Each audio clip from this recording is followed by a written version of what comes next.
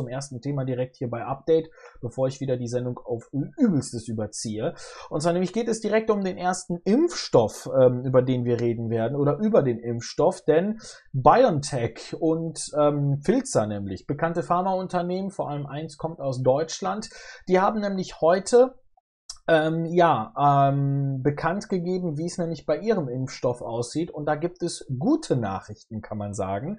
Denn äh, der entwickelte Corona-Impfstoff, so heißt es nach ihren eigenen Angaben nämlich, ähm, äh, zeige, bietet nach eigenen Angaben mehr als 90 Prozent Schutz ähm, gegen Covid-19. Beide Unternehmen haben da auch gemeinsam auf, aber auf einen ähm, äh, auf Zwischenergebnisse aus einer Zulassung in der entscheidenden Studienphase natürlich mitge äh, äh, mitgeteilt. Schwere ähm, Nebenwirkungen, die ja dieser Impfstoff ähm, anscheinend haben könnte, seien bisher nicht registriert worden, heißt es.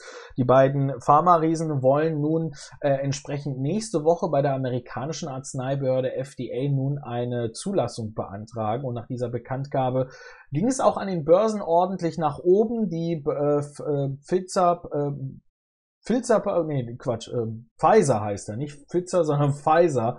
Ähm, die Pfizer-Papiere sind nämlich direkt äh, nach der Bekanntgabe um 9% gestiegen. Die pa Papiere von BioNTech sind äh, um rund 16% nach oben gegangen. Zumindest eine gute Nachricht dort. Der Impfstoff mit dem gewöhnlichen Namen BNT 162b2 war von BioNTech ja seit Mitte Januar entwickelt worden, trägt den Namen Lightspeed auf Deutsch Lichtgeschwindigkeit und die für eine Zulassung äh, entscheidende Phase 3 Studie, die ja jetzt seit Juli läuft, ähm, äh, läuft seit Ende Juni, so wollte ich das nämlich sagen, seit Ende Juli auch erst. Und inzwischen haben sich auch mehr als 43.500 Menschen äh, mindestens eine der beiden Impfungen nun ja spritzen lassen, als Testkandidaten selbstverständlich. Das im Abstand von drei Wochen. Ein Impfschutz wird nach Angaben der Hersteller eine Woche nach der zweiten Injektion erreicht.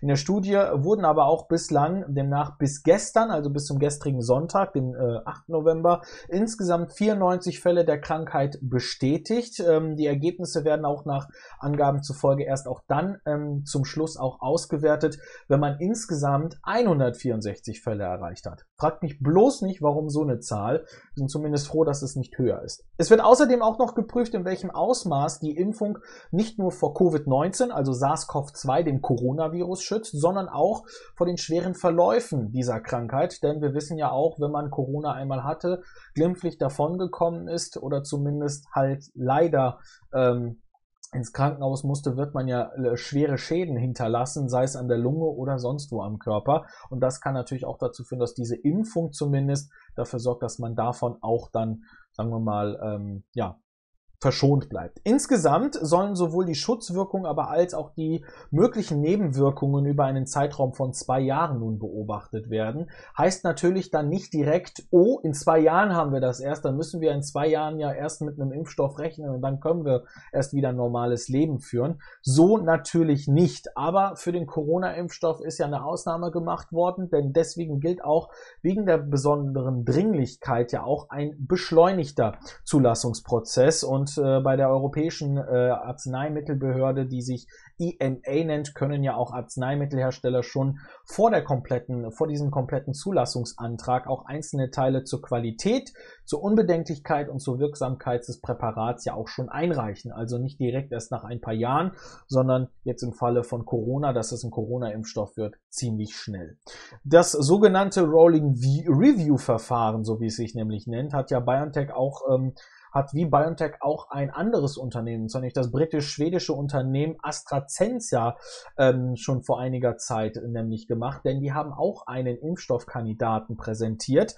Bisher hat man da selbst noch keine Phase 3 Daten veröffentlicht und eine Sprecherin sagte auch am Montag, ähm, nämlich, dass es noch gar keine ähm, genaueren, dass es da kein, gar keinen genaueren Zeitplan dafür gäbe. Also da dauert das noch etwas ähm, dass bei BioNTech das sogenannte Präparat, das ist jetzt ein bisschen schwer zu erklären, weswegen ich es auch ein bisschen ablese oder eigentlich auch generell durchgehend. Es ist ein ziemlich kompliziertes Thema, aber zumindest, ihr solltet es ja auch wissen.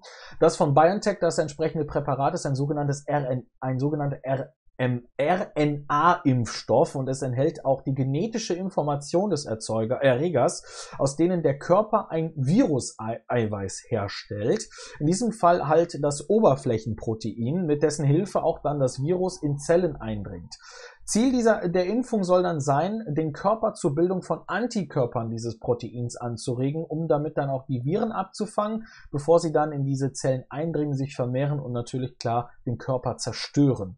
Und ähm, BioNTech und Pfizer rechnen ja auch damit, dass man noch in diesem Jahr mit der Herstellung ähm, beginnen kann und dass man zumindest bis Jahresende 50 Millionen Impfdosen bereitstellen kann. Im kommenden Jahr soll es deutlich mehr sein, nämlich bis zu 1,3 Milliarden Impfdosen heißt es. Andere Länder haben ja auch schon einen Impfstoff ja präsentiert, China, sogar Russland, aber auch, das ist ziemlich neu und interessant, ähm, Bahrain. Ebenfalls, ja, die haben auch Impfstoffe, aber mit Einschränkungen eher freigegeben und auch schon zum Teil äh, für die Bevölkerung zugelassen. Dort weiß man nicht, wie die äh, Nebenwirkungen sind und ob das wirklich auch etwas bringt. Russland ja vor allem groß präsentiert, wir haben einen Corona-Impfstoff und ähm, ja, bisher gab es ja da auch noch keine Meldungen darüber, wie nämlich dort die jeweiligen Probandinnen und Probanden oder die, die geimpft wurden, ähm, reagiert haben. Wie man ja auch schon mitgekriegt hat, wurde ja auch eine, äh, die Tochter von Russlands Präsident Wladimir Putin ähm, geimpft. Dazu gab es bisher keine Informationen, weder vom russischen Staatsfernsehen noch sonst wo, die ich mitgekriegt habe. Wenn ihr es entsprechend mitgekriegt haben solltet, was da so in Russland, China oder Bahrain abgeht, dann gerne mehr dazu, wenn ihr davor, dazu was habt, aber dann bitte auch wirklich mit richtigen Quellen und so weiter gerne.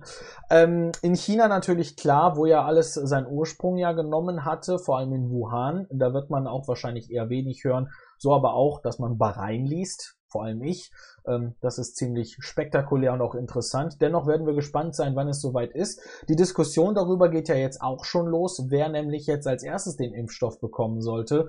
Da kann man eigentlich nur denken, dass geradewegs erstmal das wichtigste Personal, und da gehören nicht unbedingt die Politiker dazu, vor allem nämlich unser Pflegepersonal und auch unsere ähm, Lehrkräfte vor allem sollen als erstes die bekommen, vor allem nämlich das Pflege- und Ärztepersonal bitte wenn man gescheit im Kopf ist, um das auch irgendwie hinzubekommen, wenn man sagen will, wer soll als erstes geimpft werden. Ich meines Teils würde sogar sagen, lasst mich als letzten.